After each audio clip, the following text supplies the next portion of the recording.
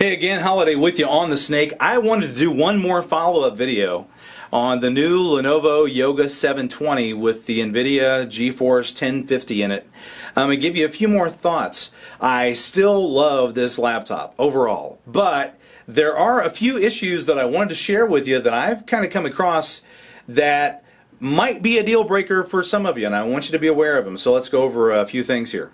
One of the questions I've had people ask me involves the boot time of this laptop with the SSD. How snappy is it? How quick is it to desktop? So let's uh, let's give you an idea, and I'll be as accurate as I can here. In three, two, one.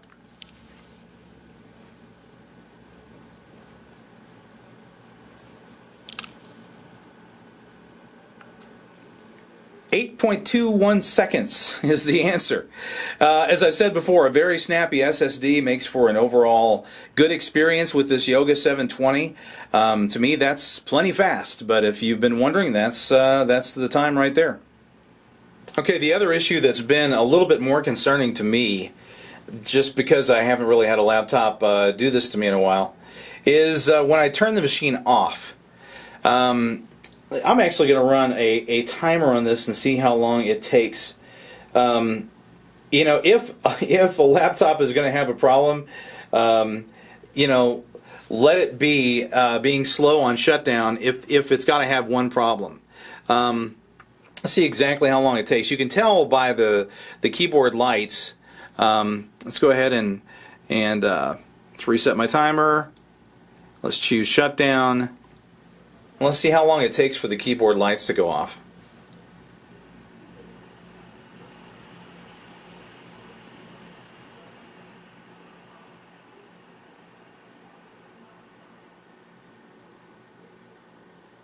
Still not off.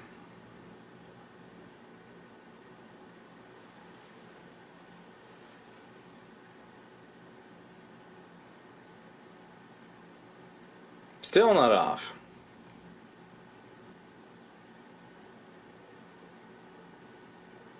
And 35 seconds in, keyboard lights still not off.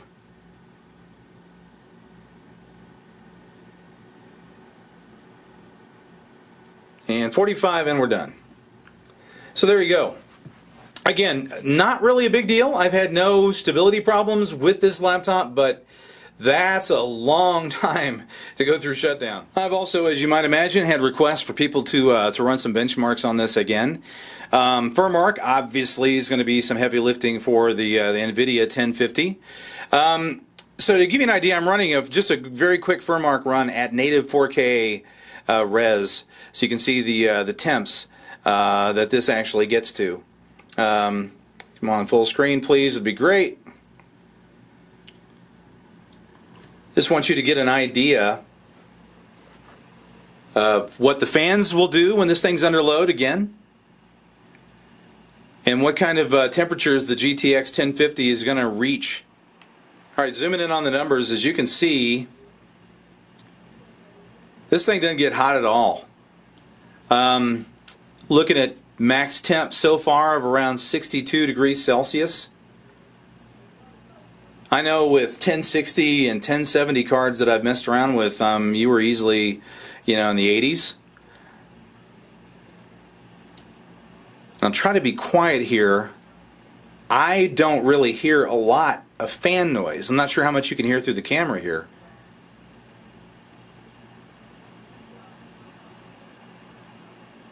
But GPU is kind of settled into a 57 degrees Celsius plateau, maximum 62 degrees Celsius.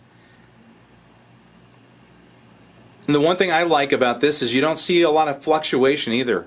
Um, so it does not seem like to me that this system is really throttling much to uh, to give you a you know 1050 power in a chassis this thin.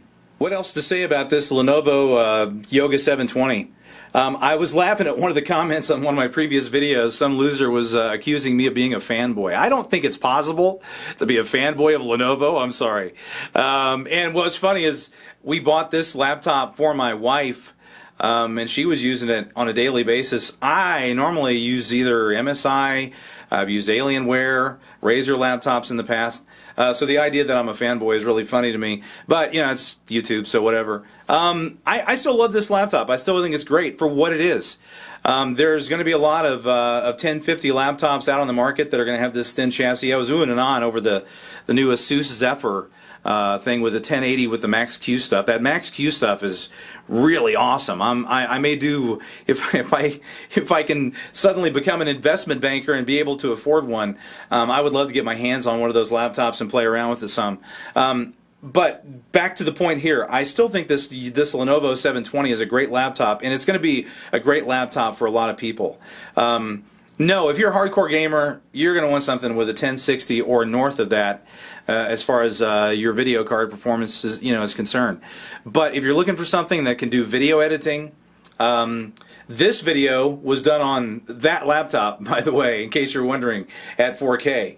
Um, if you want something that does video editing, if you want something that's thin and light, you want something that can still, you know, you want something that can still play some games.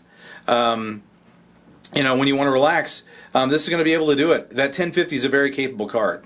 Um, there's only a couple of things I have found that will not play uh, games smooth at a 1080p res on high settings.